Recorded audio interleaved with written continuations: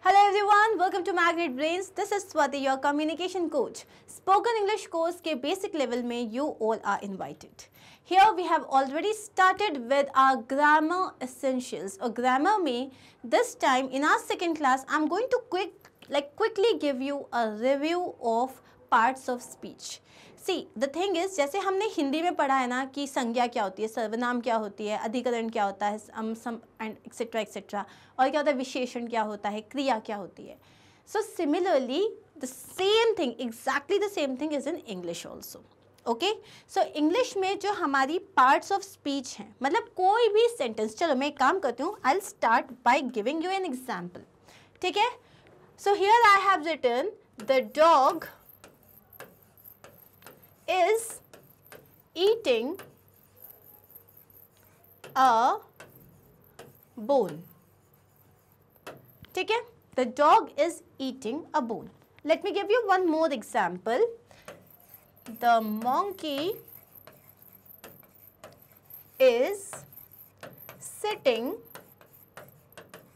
on the tree. Okay? And uh, let me give you one more example. Priya and Swati are best friends but they don't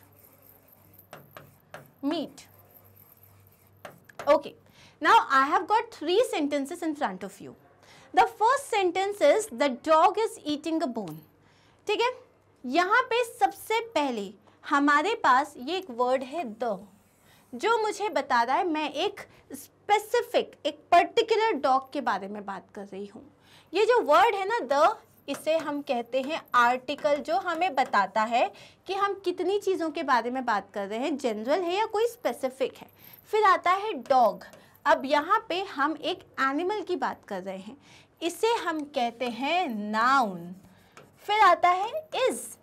is जो है, ये हमें बताता है कि is, am, are, was, were, ये जो words हैं, ये हमें बताते हैं कि कोई काम अभी हो रहा है, पहले हो चुका है। बेसिकली ये टाइम वर्ड्स होते हैं। ये हमें टाइम बताते हैं। किसी भी काम के होने का टाइम बताते हैं। इसे हम कहते हैं ऑक्सिलरी वर्ब। या हम इसको हेल्पिंग वर्ब्स भी कहते हैं। ओके फिर आ रहा है यहाँ पे ईटिंग ईट मतलब होता है खाना। कोई काम हो रहा है। किसी भी काम को हम कहते हैं वर्ब फिर अगेन यहाँ पे आ रहा है क्या खा रहा है वो बोन कोई चीज़ खा रहा है, कोई भी सामान खा रहा है। इसीलिए ये हो गया नाउन और कितनी बोन्स खा रहा है? सिर्फ़ एक। तो ये जो वर्ड है ना, ए, ये भी है क्या है? आर्टिकल पढ़ेंगे हम ये सब बहुत डिटेल में। लेकिन आप देख रहे हो कि कोई एक सेंटेंस जो होता है, वो कितनी सारी चीज़ों से मिलके बनता है। For example the again article monkey noun हो गया इज़ हेल्पिंग वर्ब हो गया सिटिंग वर्ब हो गया।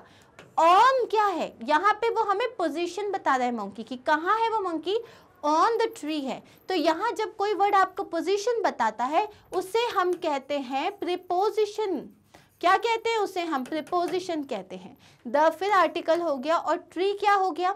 ट्री हो गया आपका नाउन अब यहाँ पे द आर्टिकल है या एडजेक्टिव आगे पढ़ेंगे हम। अब प्रिया और स्वाति, ये जो वर्ड है एंड ये क्या है? ये दो चीज़ों को जोड़ रहा है। सिमिलरली प्रिया और स्वाति बेस्ट फ्रेंड्स हैं, लेकिन दे डोंट मीट अगेन ये जो वर्ड है, ये दो सेंटेंसेस को जोड़ रहा है। तो जो जोड़ने वाले वर्ड्स होते हैं उन्हें हम कहते हैं कंजंक्शंस अब ये इतने सारे वर्ड्स हो गए बिल्कुल परेशान होने की ज़रूरत नहीं है। जब आप हम पढ़ाई करेंगे ना जब हम तो आपको ये सब याद नहीं करना पड़ेगा ये आपको ऑटोमेटिकली समझ में आ जाएगा।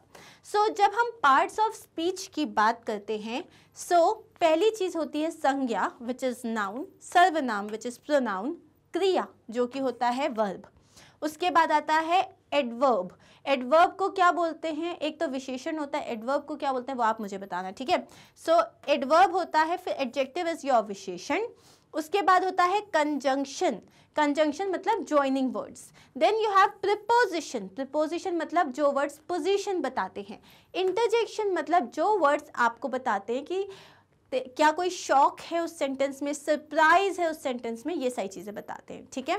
सो so, ये होती है हमारी पार्ट्स ऑफ़ स्पीच और इस वीडियो में मैं बहुत जल्दी बस आपको बताऊँगी जैसे मैंने अभी समझाया है कि पार्ट्स ऑफ़ स्पीच में इन सब का एक्चुअल मतलब क्या होता है? सबसे पहले हम आते हैं नाउन पे।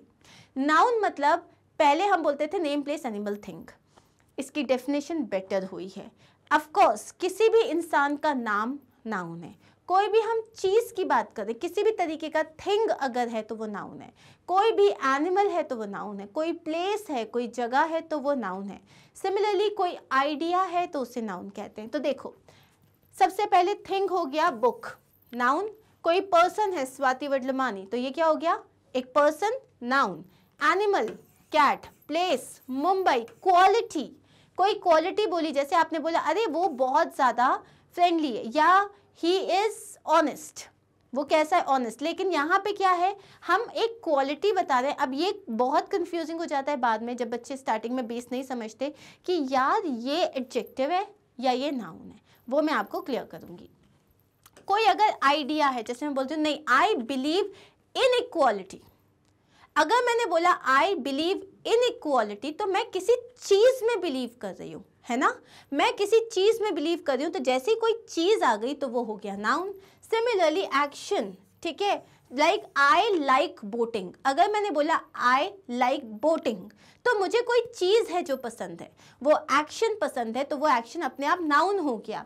But if I am saying I am boating तो मैं मैं बोटिंग कर रही हूँ तो वो क्रिया में चला जाएगा। तो वो सब आप टेंशन मतलब मैं एक्सप्लेन करूँगी आपको। अगर कोई फीलिंग है हेट लव और और जेलसी ये सारी चीज़ें आपकी किसमें आ जाएँगी? नाउन में। The next thing is pronoun pronoun हमें पता है, जो वर्ड्स नाउन की जगह लेते हैं। जैसे मैंने कहा, स्वाति इज़ टीचिंग अब मैं हर बार नहीं बोलूँगी ना, Swati is teaching, Swati is going, Swati is coming. नहीं, मैं बोलूँगी, she is going, she is coming. ये पेन स्वाति का है। दिस इज़ हर पेन या दिस पेन इज़ हर्स तो ये जितने भी वर्ड्स हैं, जो कि आपके नाउन को रिप्लेस कर रहे हैं टू मेक श्योर कि आपका सेंटेंस बेटर साउंड करे, उसे हम कहते हैं प्रोनाउन ओके अब प्रोनाउन जो होता है, इसके, इसको समझने के लिए पहले हमें पर्सन का नॉलेज होना चाहिए। जब भी हम बात कर रहे हैं, एक मैं बात कर रही हूँ। मैं हो गई फ़र्स्ट पर्सन मैं तुमसे बात कर रही हूँ। तुम हो गए सेकेंड पर्सन अब जो, जिससे हम बात नहीं कर रहे, लेकिन जिसके बारे में हम बात कर रहे हैं, वो हो जाएगा थर्ड पर्सन तो फ़र्स्ट पर्सन जो होता है, वो होता है आई क्या होता है? आई ठीक है? और जो सेकेंड अब यहाँ पे इसमें आई जो पर्सन है ये यहाँ पे आ, इसको हम लिखेंगे आई इसका जो प्रोनाउन होता है आई की जगह हम लिखते हैं मतलब अगर इसमें ऑब्जेक्ट प्रोनाउन देखते हैं तो वो हो जाता है मी इसमें अभी अपन नहीं जाते ठीक है? ये मैं अभी आपको डिटेल बाद में दूँगी। अभी बस इतना समझो कि फ़र्स्ट पर्सन मतलब मैं सेकेंड पर्सन मतलब तुम और थर्ड पर्सन मतलब या अगर कोई लड़का है तो ही कोई लड़की है तो शी कोई सामान है तो इट ठीक है? अगर हम बोले कि हम सब, हम बात कर रहे हैं, मैं अपनी बात कर रही हूँ, हम बात कर रहे हैं तो ये फ़र्स्ट पर्सन हुआ। तो द वर्ड इज़ वी तुम सब बात कर रहे हो। तो द वर्ड इज़ यू वे सब खेल रहे हैं। हम उनकी बात करें बहुत सारे लोगों की बात करें तब हम ये नहीं बोलेंगे he is and she is are playing हम बोलेंगे दे आर प्लेइंग क्या बोलेंगे? दे आर प्लेइंग सो ये होता है प्रोनाउन में first person second person third person इसमें याद करने जैसा कुछ नहीं है। जो बात कर रही हूँ, जब मैं अपने लिए, मैं हूँ जो पर्सन बात कर रही हूँ तो मैं हो गई आई फ़र्स्ट पर्सन मैं तुमसे बात कर रही हूँ सेकेंड पर्सन मैं जिसके बारे में बात कर रही हूँ, वो हो गए third person clear I you he she और इट अगर बहुत सारे मैं हूँ मतलब बहुत सारे लोग हैं हम जो बात कर रहे हैं वी कितने भी लोग हैं यू और बहुत सारे लोग हैं थर्ड पर्सन में तो हम बोलेंगे they clear okay next let's quickly see कि जो किस तरीके से प्रोनाउन रिप्लेस होता है। Mrs Sharma walk to the market Mrs Sharma ने मार्केट तक वॉक किया। तो ये हो जाएगा she walk to the market हमने मिसेस शर्मा की जगह शी यूज़ किया क्योंकि वो एक फीमेल है। Riya and Anya are going to a party अब दो लोग हैं। प्लूरल है प्लूरल मतलब बहुवचन। सो so, जब दो लोग हैं तो ही और शी नहीं आएगा दे आएगा। सो so, हमने कर दिया they are going to a party the cake was delicious किसके बारे में बात कर रहे हैं? हम केक के बारे में कर रहे हैं। तो हम क्या बोलेंगे? इट वॉज़ डिलीशियस एक सामान है एक चीज़ है इसलिए हमने बोला it was delicious Siddharth drove a car तो हमने क्या बोला? He drove a car Harsh and I played board games yesterday कल मैंने और हर्ष ने बोर्ड गेम्स खेले थे। ऑलवेज रिमेंबर ये नहीं होगा आई एंड हर्ष या मी एंड हर्ष, नहीं। सब्जेक्ट जब हम कह रहे हैं तो हमेशा पहले दूसरे का नाम आएगा, फिर हमारा आएगा। क्यों? क्योंकि हम लोग इंग्लिश बहुत पोलाइट लैंग्वेज है, इसमें ना सामने वाले को ज़्यादा रिस्पेक्ट दी जाती है। So Harsh and I played board games yesterday तो इसका क्या आ जाएगा? वी क्योंकि हमने बोर्ड गेम खेला तो हम वी यूज़ करेंगे। The film was very interesting the film non living thing तो उसके लिए क्या आ जाएगा? It was very interesting okay now after pronouns अभी हम प्रोनाउंस में और पढ़ेंगे तो उसमें बहुत सारे टाइप के प्रोनाउंस होते हैं। कहाँ यूज़ करने हैं, कैसे करेंगे, वो हम एक एक करके पढ़ेंगे। नेक्स्ट इज़ योर क्रिया जिसे हम कहते हैं वर्ब तो यहाँ पे कहीं अगर कोई एक्शन हो रहा है, जैसे I am walking I am teaching I am talking I am listening ये सारे होते हैं वर्ब आप कोई एक्शन कर रहे हो, या फिर अगर जो है, कहीं पे भी जो है मतलब या तो एक्शन हो रहा है, या तो आप बता रहे हो कि कोई स्टेट में है वो. आई एम स्लीपिंग स्लीपिंग में कोई एक्शन नहीं हो रहा. लेकिन वो आप एक स्टेट भी बता रहे हो कि I am sleeping right it is not necessary कि मूवमेंट हो but there can be in like it is still going to be called as a verb ये सब मैं आपको एक्सप्लेन करूँगी. एग्ज़ाम्पल देखते हैं. She plays cricket every day. What is she playing? Cricket. So what is she doing basically? She is playing. तो play हो गया आपका verb. Darshana and Arul are going to the movies. क्या काम हो रहा है जाने का काम हो रहा है तो गोइंग हो गया आपका verb my friends visited me last week क्या काम हुआ विज़िट करने का काम हुआ तो ये हो गया आपका verb did you have your breakfast क्या तुमने अपना ब्रेकफास्ट किया करने का काम हो रहा है, यहाँ पे हैव का मतलब होता है खाना। हैव का मतलब होता है किया। My name is Meenakshi Kishore यहाँ मेरा नाम है, मैं बता रही हूँ तो ये इज़ जो है, ये हमारा हेल्पिंग वर्ब हो गया अगेन ओके अब आते हैं हम एडजेक्टिव पे। एडजेक्टिव मतलब कोई भी वर्ड जो आपके नाउन के बारे में कुछ बता रहा है, जैसे I am wearing a shirt I am wearing a black shirt कौन से कलर की शर्ट पहनी मैंने? ब्लैक ये मेरे शर्ट के बारे में डिस्क्रिप्शन दे रहा है। ठीक है? तो वो हो गया मेरा एडजेक्टिव एग्ज़ाम्पल देखते हैं। The place we visited yesterday was serene कैसी थी वो place it was serene serene मतलब बहुत ही शांत, बहुत beautiful did you see how big that dog was dog तो था. डॉग कैसा था? बिग था. तो ये क्या हो गया मेरा adjective the weather is pleasant today weather कैसा है? अच्छा है अच्छा बता रहा है, मेरे वेदर के बारे में मुझे इन्फॉर्मेशन दे रहा है। The red dress you wore on your birthday was lovely अब मैंने अपनी जो बर्थडे ड्रेस पहनी थी, उसके बारे में मुझे दो इन्फॉर्मेशन मिल रही है। एक कि वो रेड कलर की थी और ये कि वो लवली थी। तो ये दोनों क्या हो गए? Adjectives my brother had only one chapati for breakfast मेरा जो भाई था, उसने कितनी चपाती खाई? तो एडजेक्टिव सिर्फ़ क्वालिटी नहीं बताता क्वांटिटी भी बताता है। तो अगर उसने एक चपाती खाई तो ये क्या हो गया आपका? एडजेक्टिव अब एडवर्ब्स वो होते हैं वर्ड्स जो आपके एडजेक्टिव के बारे में या आपके एडवर्ब्स के बारे में, ठीक है? या किसी वर्ब के बारे में। वर्ब की विशेषता बताता है या एडजेक्टिव की बताता है या खुद दूसरे एडवर्ब के बारे में बताता है। यूजुअली हम जब बोलते हैं ना कि मैं कैसा, मैं रन कर रही हूँ, मैं कैसा कर रही हूँ? फास्ट रन कर रही हूँ। तो रन मतलब काम है। वो काम मैं किस तरीके से कर रही हूँ? वो होते हैं वर्ड्स जो एडवर्ब होते हैं। तो यहाँ पे एडवर्ब्स यूजुअली पाँच, छह क्वेश्चन को आंसर करते हैं। यूजुअली सबसे पहला कि कोई काम कैसे हो रहा है? जैसे मैंने कहा आई एम ईटिंग फास्ट तो फास्ट क्या हो जाएगा? एडवर्ब कि मैं किस तरीके से खा रही हूँ? फास्ट खा रही हूँ। वेन कोई काम कब हो रहा है? आई एम गोइंग टूमोरो कब जा रही हूँ मैं? कल जा रही हूँ। तो कल क्या हो गया? एडवर्ब हो गया। कहा?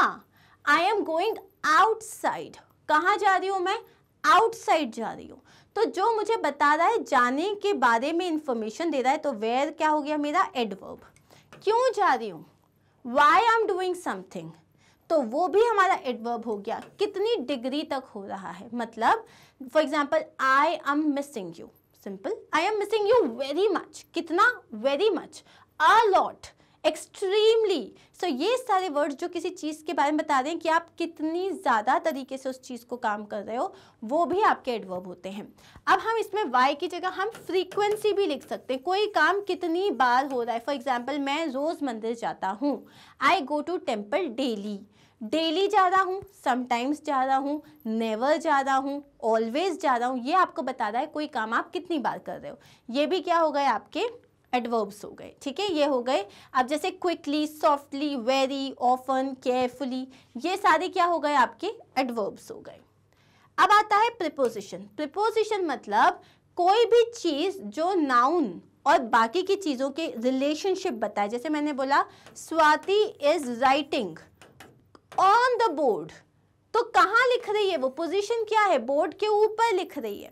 तो जब हमें पोजीशन पता चलता है, हमें पता चलता है कि जैसे I am going towards the temple तो ये डायरेक्शन बता दिया मैंने, ठीक है? या मैं बोलूँगी I am I see you at eleven o'clock तो मैं टाइम बता रही हूँ तो ये एट मतलब मैं तुम्हें टाइम बता रही हूँ, ये आपका प्रिपोजिशन हो गया place keep it on the table कहाँ रखना है? ऑन द टेबल वो प्लेस हो गया लोकेशन और मैनर ये सारे जो वर्ड्स होते हैं, ये आपको पोजिशन बताते हैं, किसी भी दो चीज़ों का कनेक्शन बताते हैं कि कोई चीज़, दो चीज़ें आपस में किस तरीके से रखी हुई हैं, किस तरीके से लगी हुई हैं, उन्हें हम प्रपोजिशन कहते हैं। For example the book is in the bag book कहाँ है? बैग में है. तो बुक और बैग का रिलेशनशिप पता चला हमको यहाँ पे? The cat is sitting on the chair cat के और चेयर का पोजीशन समझ में आया हमें? The keys are under the mat keys जो है वो मैट के नीचे हैं। तो यहाँ पे हमें कीट और कीज और मैट के बारे में पता चला। We will meet at the park हम पार्क पे मिलेंगे। तो यहाँ हमें प्लेस पता चल रही है। The birds flew above the trees so birds जो है वो ट्रीज के ऊपर उड़ रही हैं। तो हमें बर्ड्स और ट्रीज की पोजीशन पता चली। सो so, इन वर्ड्स को हम प्रिपोजिशन कहते हैं. Then you have conjunctions conjunctions मतलब वो वर्ड्स जो दो सेंटेंसेस या दो वर्ड्स को जोड़ते हैं. For example I like tea and coffee मुझे टी और कॉफ़ी पसंद है. तो ये जो वर्ड है और, ये हमारा कंजंक्शन है. He wanted to go out वो बाहर जाना चाहता था बट इट वॉज़ रेनिंग लेकिन बारिश हो रही थी. तो he wanted to go out एक सेंटेंस है. इट वॉज़ रेनिंग एक सेंटेंस है. इन दो सेंटेंसेस को किस वर्ड ने ज्वाइन किया है बट ने वुड यू लाइक केक और आइसक्रीम यहाँ आप ऑप्शन दे रहे हो. तो ये ऑल वर्ड जो है, ये अगेन आपको दो चीज़ों में को जोड़ के बता रहा है. It was getting late so we decided to leave देर हो रही थी, इसलिए हमने डिसाइड किया जाने के लिए. तो अब ये जो वर्ड इसलिए है, ये भी दो सेंटेंसेस को ज्वाइन कर रहा है.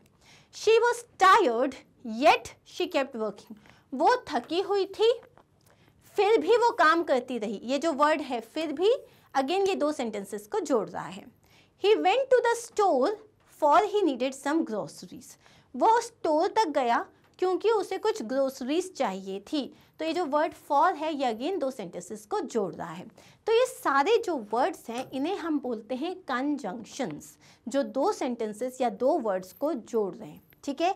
और लास्ट है आपका इंटरजेक्शन जहाँ आप कोई शौक या सरप्राइज़ बताते हो। For example wow what a wonderful work of art alas this is really sad ये पे we won the match so ये सब सारे वर्ड्स हैं, ये हैं आपके इंटरजेक्शंस जहाँ पे आप किसी भी चीज़ को बताते हो कि is it containing a shock और अ सरप्राइज़ ठीक है? दैट्स इट अभी देखो, मैंने बहुत क्विकली आपको एक पार्ट्स ऑफ़ स्पीच का सिर्फ़ ओवरव्यू दिया है। हमारी नेक्स्ट सेशन में हम लोग प्रॉपरली नाउन से स्टार्ट करेंगे। हम लोग एकदम डीप में नहीं जाने वाले हैं क्योंकि हम बेसिक लेवल पढ़ रहे हैं तो हम नाउन फ्रेजेस और ये सब नहीं पढ़ेंगे। लेकिन अगर आपको इंग्लिश बोलनी है तो आपको बेसिक चीज़ें बताना होनी चाहिए, जैसे कि कॉमन नाउन्स प्रॉपर नाउन्स क्या होते हैं। अगर हम कलेक्टिव नाउन्स बोल रहे हैं तो कैसे होने चाहिए? काउंटेबल और अनकाउंटेबल नाउन कैसे होना चाहिए? तो ये सब हम करेंगे हमारे नेक्स्ट सेशन में। So I hope you understood this session अगर कोई चीज़ लग रही है कि नहीं यार, ये तो समझ में नहीं आए do not worry because I am going to take up each and every part of speech very elaborately बहुत अच्छे से पढ़ाने वाली हूँ मैं आपको, ठीक है? So don't worry at all and then of course don't forget that we have a quiz जो क्विज आपको मिल जाएगी आ, एक पीडीएफ फॉर्मेट में since you have purchase this course तो आपको हर ग्रामर के टॉपिक के बाद you will get a quiz और ये क्विज आपको अच्छे से करनी है and then you have to show me tell me that ma'am it was great so मिलते हैं नेक्स्ट सेशन में. अपना ख्याल रखिए मुस्कुराते रहिए और do not forget to practise bye